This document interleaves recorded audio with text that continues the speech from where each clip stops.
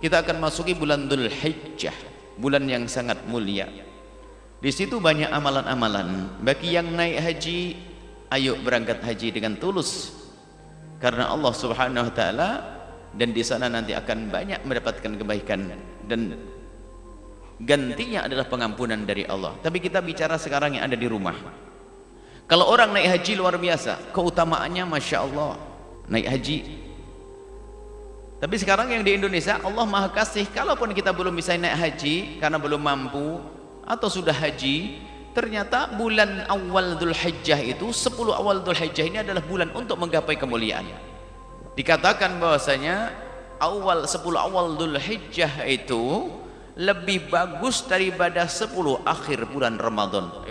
10 awal Dhul Hijjah tanggal 1 sampai tanggal 10 itu lebih bagus daripada 10 awal Roma, 10 akhir Ramadan.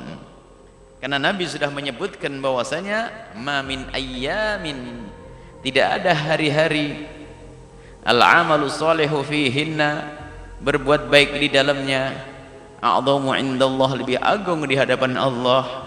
Wala ahabbu ilahi dan tidak ada yang lebih dicintai oleh Allah min hadhil ayyam melebihi daripada hari-hari ini. Artinya tidak ada hari-hari untuk beramal soleh yang lebih baik daripada hari-hari di bulan awal Dhul Hijjah baik. Kemudian kemenangan bulan 10 akhir bulan Ramadan di bulan Ramadan kemenangannya karena ada malam Lailatul Qadar. Maka tidak bisa dikalahkan setelah itu Ramadan karena ada Lailatul Qadar. Tanpa Lailatul Qadar tidak bisa mengalahkan awal Dhul Hijjah dan awal Dhul Hijjah akan menjadi menang karena ada hari Arafah. Maka dikatakan para ulama hari Arafah tanggal 9 Dhul Hijjah, Hujjah hari Arafah adalah paling bagusnya hari dan malam Lailatul Qadar Lailatul Qadar adalah paling bagusnya malam artinya seperti anda sibuk menghidupkan 10 akhir bulan Ramadan untuk menggapai Lailatul Qadar jika anda betul perindu kemuliaan hidupkan 10 awal Dhul Hijjah dengan ibadah. Karena Nabi menyebutkan kalau itu adalah hari baik untuk beribadah hari terbaik untuk beribadah.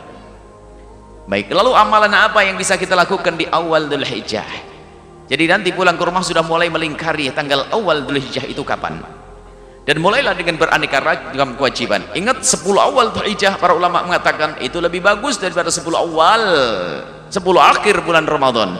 Hanya bedanya 10 akhir bulan Ramadan menjadi mengalahkan 10 awal Dhul Hijjah karena ada Lailatul Qadar.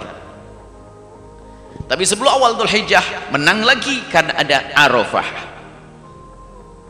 Harinya makanya malam paling mulia adalah malam Lailatul Qadar hari mulia adalah hari Arafah. Baik mari kita setelah ini berpikir tentang diri kita. Ayo kita membuat budaya yang baik sesuai dengan sunnah Nabi Shallallahu Alaihi Wasallam. Hidupkan 10 awal Dhul Hijjah dengan beraneka macam kebaikan seperti kita menghidupkan malam Ramadan khususnya 10 akhir Ramadan dengan bermacam-macam kebaikan. Dimulai dari Ramadan puasa kita pun hendaknya puasa di 10 awal Dhul Hijjah kecuali tanggal 10 tiada puasa karena sudah hari korban. 10 awal Dhul Hijjah kita melakukan puasa. Khususnya bagi ibu-ibu yang di sana tuh yang punya utang tuh cepat beres beresi punya utang mumpung ini ada 10 awal Dhul Hijjah saya akan bayar utang. Niatnya bayar utang saja bu ya. Nanti Allah kasih pahala sunnah juga. Bukan niat sunnahnya. Niat bayar utang. Lumayan utangnya pas 9 hari bayar utang niat bayar utang ibu dapat pahala kesunnahan jadi bayar utangnya wajib tapi niatnya hanya bayar utang saja. Jangan didobel niatnya. Menurut madhab kita Imam Syafi'i tidak sah menggabung antara niat sunnah dengan niat wajib. Tapi kalau ibu niat sunnah saja wajib nggak dapat.